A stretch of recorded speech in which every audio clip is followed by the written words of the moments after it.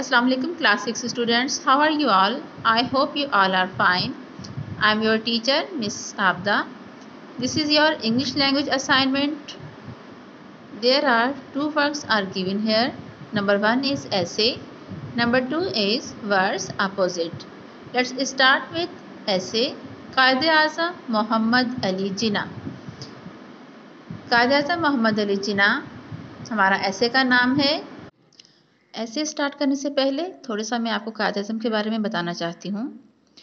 कायद अज़म मोहम्मद अली जिना 25 दिसंबर अठारह सौ छिहत्तर, ठीक है? ट्वेंटी फिफ्थ दिसंबर 1876 को कराची में पैदा हुए।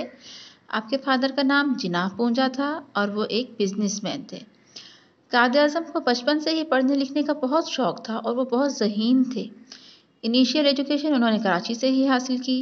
जब उन्होंने मैट्रिक का एग्ज़ाम पास किया तो आपकी उम्र 16 इयर्स थी, यानी 16 साल की थी जब उन्होंने मैट्रिक का इम्तिहान दिया। फिर आपके फादर ने आपको हायर एजुकेशन के लिए इंग्लैंड भेज दिया।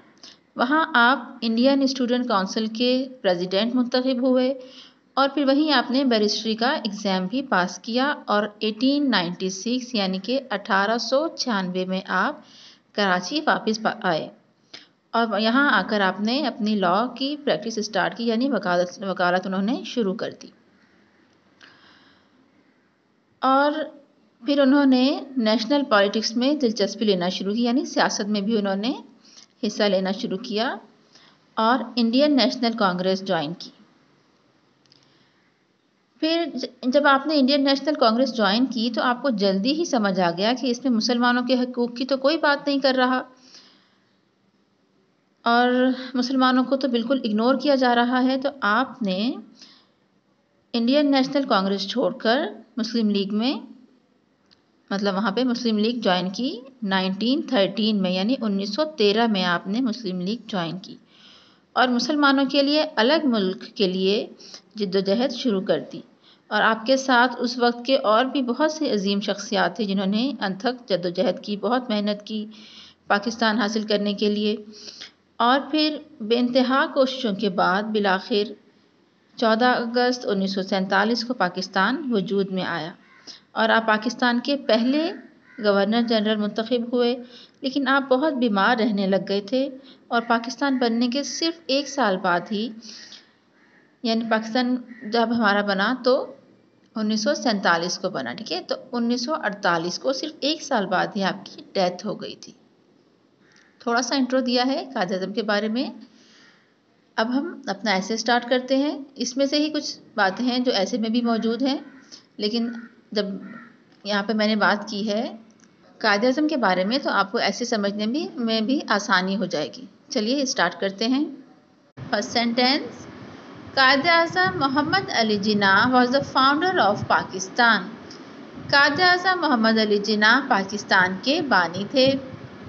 He was born in Karachi on 25th December 1876. वो कराची में पैदा हुए 25 दिसंबर अठारह सौ छिहत्तर में। He got higher education from England उन्होंने आला तालीम हासिल की बरतानिया से। He return to India as a barrister वो इंडिया वापस आए एक वकील की हैसियत से। He fought for the rights of the Muslim उन्होंने मुसलमानों के हकूक़ के लिए जदोजहद की। He was called Quaid Azam by them और वो कायद अज़म कहलाए। यानी उन्हें लकब दिया गया कायद अज़म का। कायद अज़म का मतलब है अजीम leader.